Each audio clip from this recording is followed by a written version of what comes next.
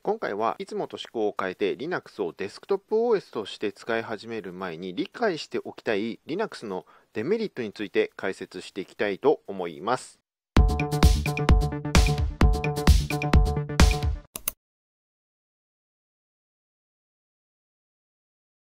まずですね、Linux を、始める前に理解した方がいいデメリット、大きく分けて3つに分けられると思います。それは、まず、Windows ではないこと。まあ、かといってあの Mac でもありませんけれども、それについては後ほどまたお話しします。それと、えー、種類が多すぎと。最後に、えー、日本語環境が弱い。この3つだと思います。では、これらについてですね、1つずつ解説していきます。では、まず、Windows ではないということですけれども、えー、分かる人からすればですね当たり前のことなんですけれどもそもそもパソコン初心者は OS、えー、まあ、プラットフォームとも呼ばれることありますけれどもその違いをですね理解しない場合がよく見られます。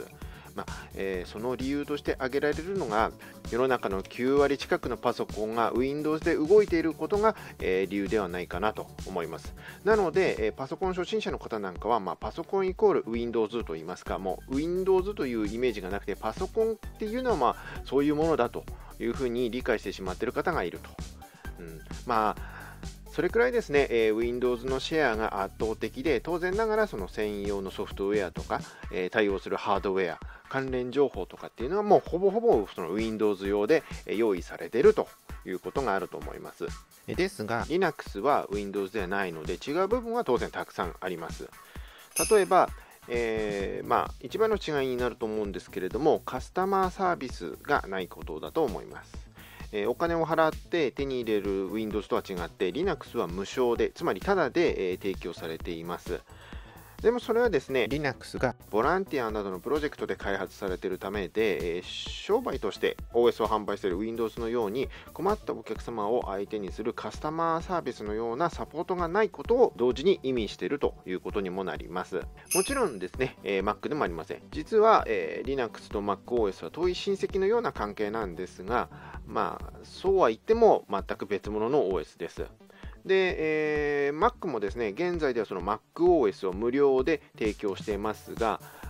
Apple 社製のパソコンでしか使うことができません。で他のパソコンメーカーのパソコンに使うことができないので、厳密に言うとちょっと違うんですけれども、Mac の場合、その OS が、えー、本体に含まれていると値段がですね、含まれているようなイメージになると思います。なので、え当然 Mac にもカスタマーサービスがあるということになりますよね。まあ、そういってその、まあ、カスタマーサービスがないということもあってですね、えー、まあ、例えばその困ったことがあっても自分で調べなければいけないということなんですよ。だからその困ったことがあってカスタマーサービスに電話して聞くこともできないですし、でまたその、まあ、Linux のシェアですね、もう低いので、周りに使っている人も、まあ、当然少ないわけです。なので相談できる人もなかなか見つけられないということが多いと思います。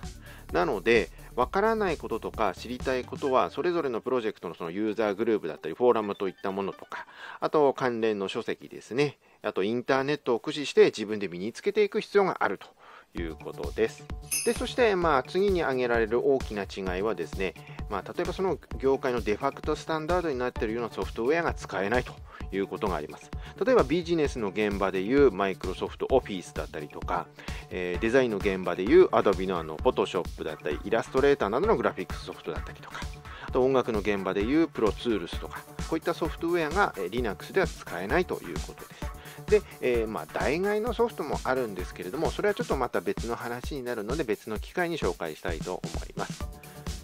で、えー、さらにですね多くの Linux はそのボランティアで開発されてるって話したんですけれども、えー、そのボランティアの運営がですね厳しくなるとある日突然何の前触れもなくですね消滅してしまうということがあるんですよ、まあ、ただですね、まあ、ある程度の規模のプロジェクトは企業並みに組織がしっかりしているのでそのようなリスクっていうのは非常に低いと思われるんですけれども基本的にはですねそのプロジェクトは寄付で成り立っているものが多いので気に入った Linux はですね、まあ、使うだけでなく寄付することも考えた方がいいのかなというふうに思います。で、まあ、このようにですね、Linux と Windows にはですね、いろいろな違いがあって、まずこの違いを理解せずに、えー、Linux を導入するとですね、使い方がわからないけども、誰も教えてくれないと、買ったソフトウェアが使えないとか、ただただ困ったことが起こってしまうと、そういった事態が続いてしまうということになるので、まずはその Linux は Linux、Windows は Windows と、その違いをですね、しっかり理解しておきましょうちなみにですけれどもその Linux でもですねあのレッドハットとかスーゼっていうものがあるんですがそういったその一部の商用の Linux ではですね、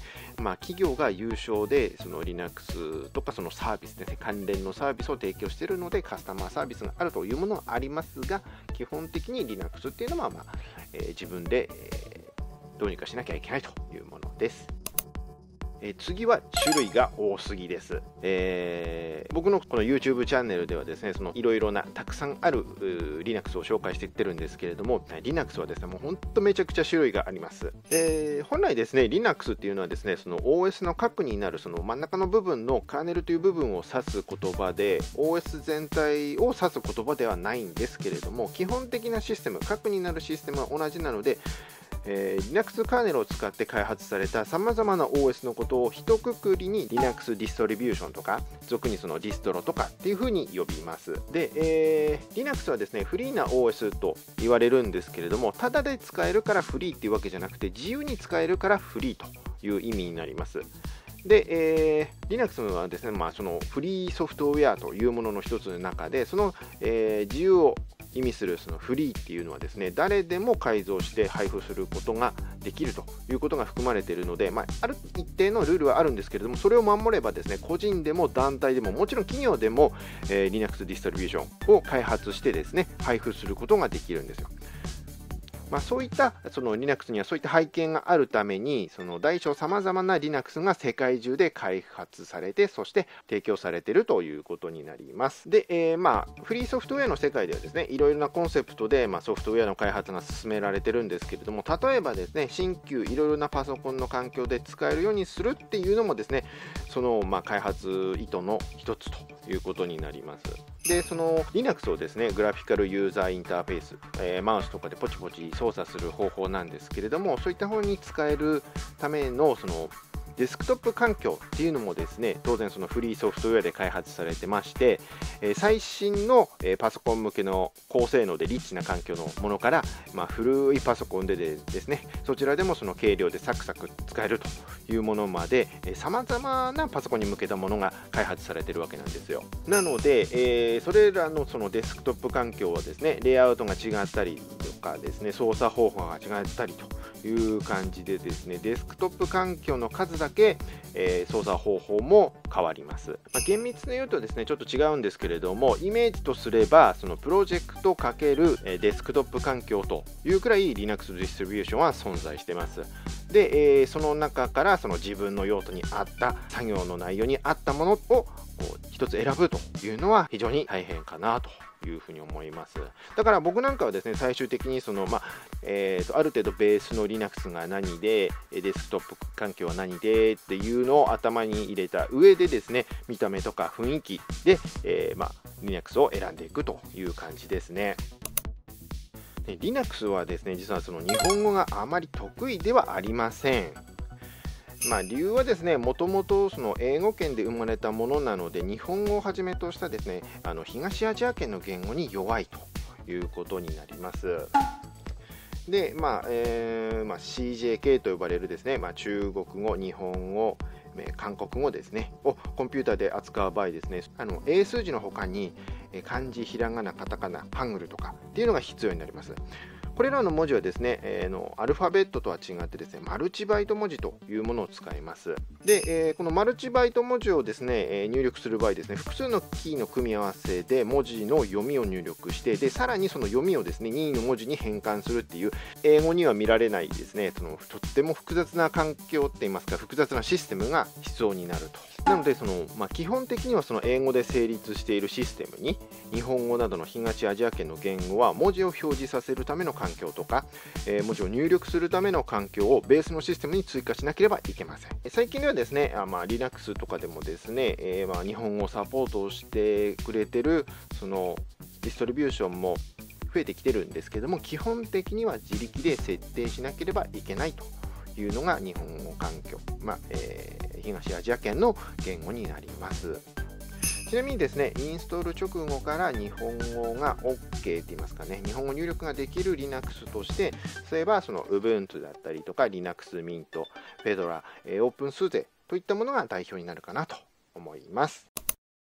では今回の Linux の主なデメリットのおさらいをするとですね、まず、えー、Windows ではないので、まあ、わからないこととか、